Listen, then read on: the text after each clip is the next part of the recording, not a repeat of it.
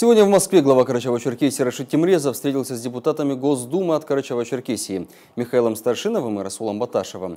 На встрече обсуждалось взаимодействие органов госвласти республики с депутатами в вопросах социально-экономического развития Карачаева-Черкесии, а также совместная работа над формированием национальных проектов и их регионального сегмента.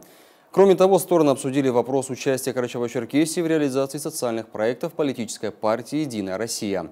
Затем у Рашида Тимрезова состоялась встреча с председателем Совета директоров АФХ «Система» Владимиром Евтушенковым, на которой были обговорены вопросы дальнейшего расширения присутствия компании на территории нашего региона. Напомним, что сейчас эта компания, являясь собственником агрокомбината «Южный», демонстрирует стабильную работу и пример социально ответственного бизнеса.